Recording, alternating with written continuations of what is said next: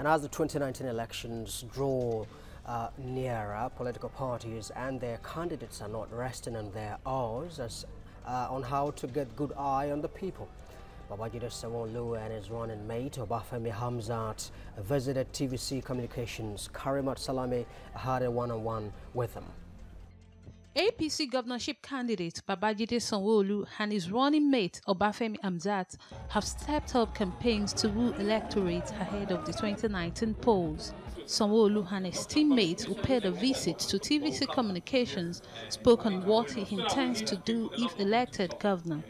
We're going to be running what we call a five-pillar levels of engagement. Everything regarding the environment, from waste management to drainage management to fiscal planning management, you know, all is all entwined on the environment. And of course, leading from that is health because they said health is well. You know, what are the things we're seeing as challenges in health? You know, what are the budgetary provisions we're meant to put in health to make sure that we can deliver on quality, you know, health management system. It's a large economy, it's a large, you know, country, you know, but we need to not only pay lip service on our health insurance scheme, it needs to start working like yesterday, you know.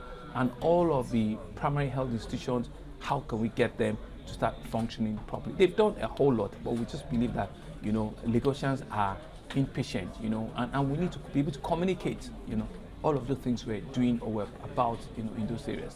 The third model, you know, is what we call education and technology, right?